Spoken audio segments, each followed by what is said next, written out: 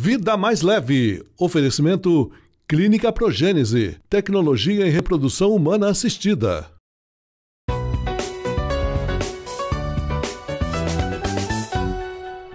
Olá, amigos da TV Sudoeste. Estamos de volta com o nosso quadro Vida Mais Leve. Que bom ter a sua companhia em mais um sábado. O nosso quadro que fala de dicas de saúde, bem-estar, qualidade de vida, moda, estética, enfim, tudo pensando em você, telespectador. E hoje a nossa entrevistada é a doutora Luciane Isoletti, que é dermatologista. E o nosso assunto é bem interessante. Vamos falar de proteção solar. Seja bem-vinda, doutora. Muito obrigada pela sua participação.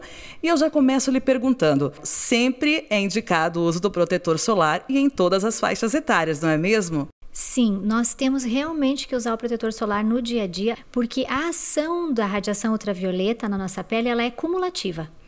Então, nós vamos somando dia após dia, ano após ano, além da radiação ultravioleta do sol, que a gente pensa protetor solar sol, né? Mas a gente está diretamente exposto, expostos às lâmpadas e às telas do computador e do celular, que são radiações que envelhecem a pele. Elas não dão câncer de pele, até, que se, até o que se sabe, mas elas envelhecem a pele. Então, se você não quiser ter manchas e um envelhecimento mais acentuado, com rugas, é muito interessante que use o filtro solar no dia a dia.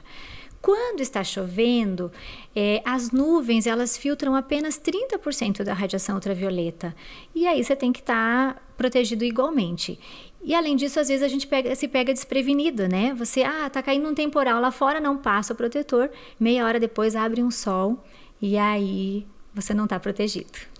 Doutora, qual o fator indicado para cada faixa etária? Se existem fatores específicos para cada faixa etária? E também qual a melhor forma de aplicar e a frequência que deve ser reaplicado durante o dia? É, o fator de proteção não difere em relação à faixa etária.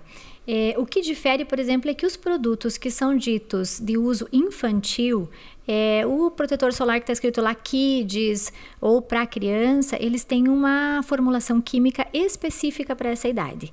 Então é interessante que crianças até 5, 6 anos usem realmente os protetores infantis.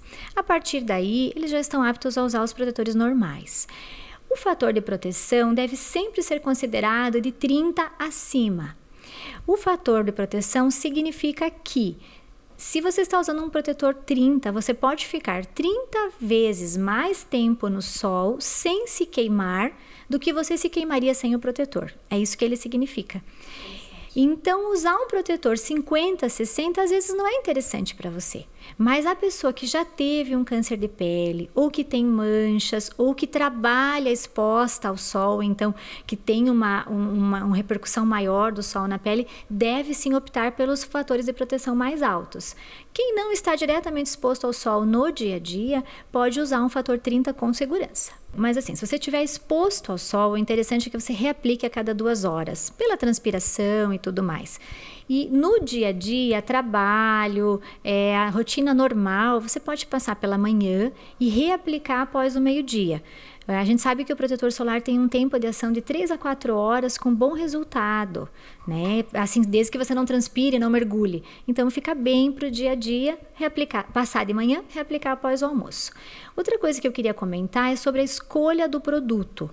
É, o produto, às vezes gente, eu ouço muito aqui no consultório assim, ah, eu não gosto de passar protetor solar porque fico muito oleoso.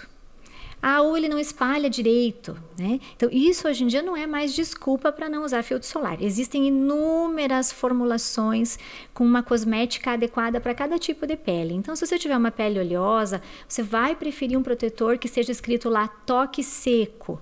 Né? Gel, creme, toque seco. Se você tiver uma pele mais ressecada, você vai escolher aqueles que diz lá que tem uma ação hidratante e que é um creme ou uma loção, tá?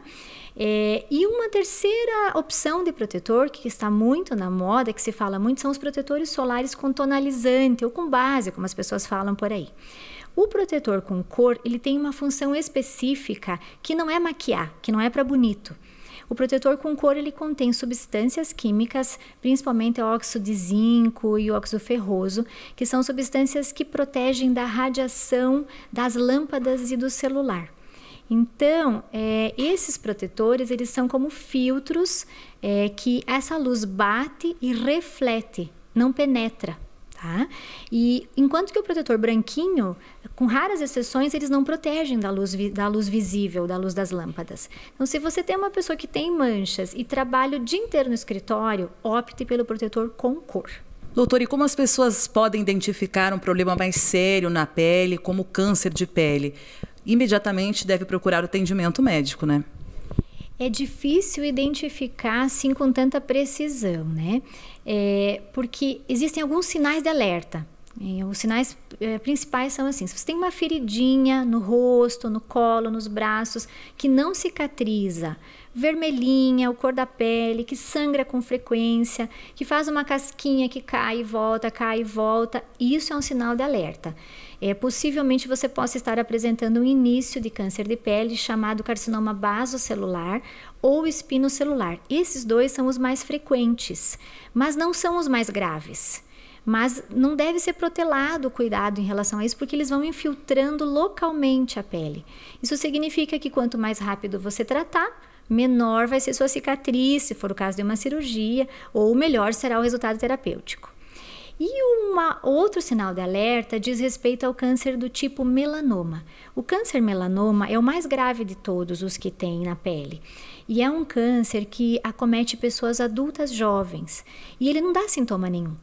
A pessoa geralmente tem uma pinta ou aparece uma pinta escura com várias tonalidades de castanho ou vermelho na mesma pinta e essa pinta tem contornos irregulares, é, uma, um contorno não, tem, não tão bem definido entre a pele normal e a pinta e um crescimento acelerado. Tá? É, esses tipos de alterações de cor, de contorno e de crescimento nas pintas são um sinal de alerta para o câncer de tipo de pele chamado melanoma. E a pessoa não sente coceira, não sente dor, não sente nada, então ela tem que se examinar. Ela tem que aprender a se olhar, senão nunca vai identificar. E esse realmente é um caso de urgência. Agradecendo então a nossa entrevistada desta semana, a doutora Luciane Isolete, dermatologista. Doutora, muito obrigada pela sua participação. Eu que agradeço, foi um prazer ter conversado contigo sobre esses assuntos e fico à disposição se os telespectadores quiserem saber mais assuntos.